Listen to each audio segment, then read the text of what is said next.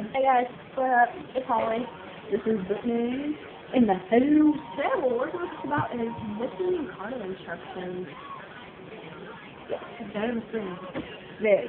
Because it says apply to the head, so does you want to go, oh, should have done my head? Yes, we're for this, this video, and we're like, It's open.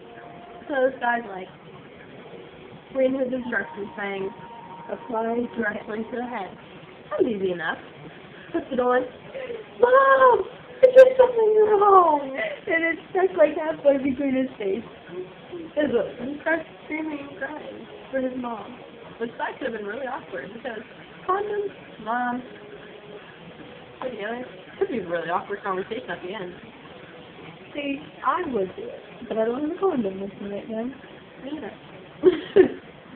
like, if you yell for your mom, you could have a really awkward conversation at the end. Like, she'd be like, why do you have a condom anyways? You ain't got a girlfriend? Or, why do you need condoms? Well, at least you ain't getting the girl pregnant.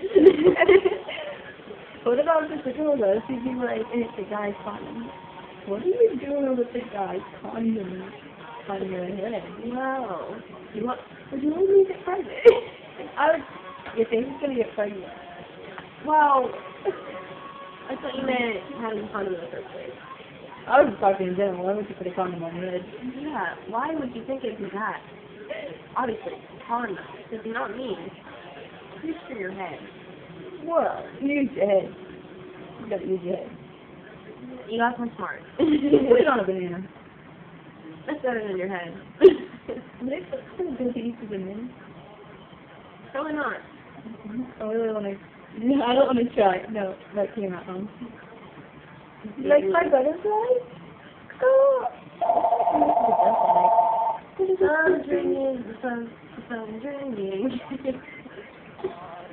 I'm a better fan. Wait. Oh. But Eminem.